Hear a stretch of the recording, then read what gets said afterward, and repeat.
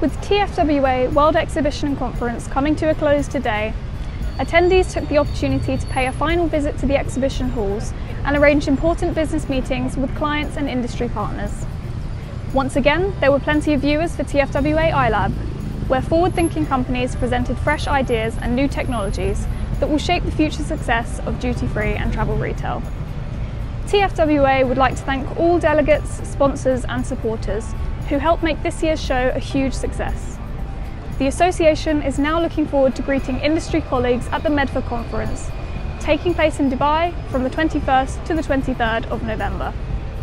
For more information on this year's event in Cannes, please visit www.tfwa.com.